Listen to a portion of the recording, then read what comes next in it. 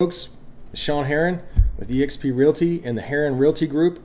Um, as most of you know, I'm a certified uh, mentor and trainer, and I have a lot of mentees asking me, Hey Shaun, when I get a lead, when somebody writes their name and phone number on the back of my business card, how do I put it into KVCore?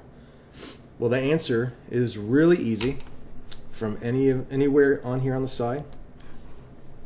You can go to Quick Actions add contact and start plugging their name in. So it's name, name.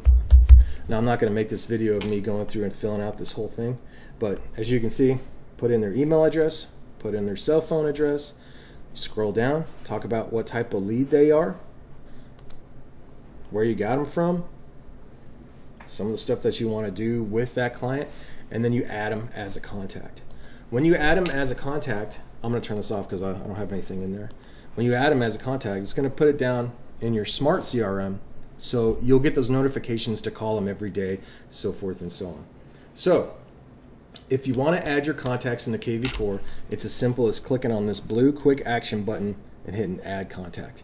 If you have any questions about KVCore, just send me a message on Facebook or give me a text. Thanks.